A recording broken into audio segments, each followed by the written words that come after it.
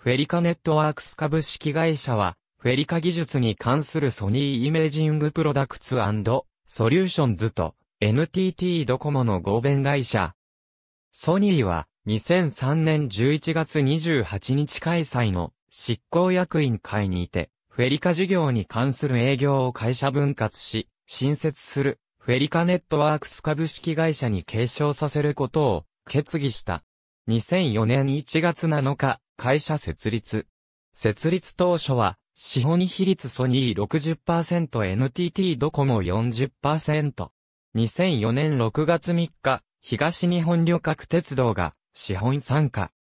平成16年6月21日官報号外第132号より引用平成17年6月21日官報号外第137号より引用平成18年6月21日官報、号外第144号より引用平成19年6月20日官報、号外第132号より引用。